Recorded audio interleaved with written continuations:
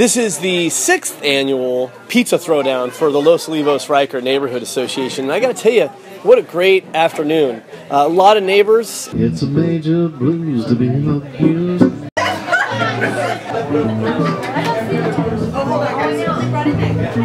There's nothing that makes a neighborhood safer and stronger than food, activity, and just getting to know one another. Is.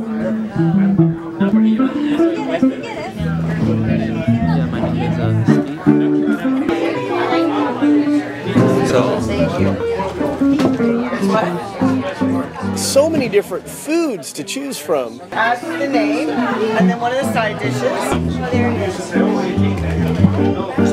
So just delighted to host it at my home and uh, want to encourage Salinas to be a stronger community thanks to neighbors that take the time to get to know one another and maybe invest a little bit in one another.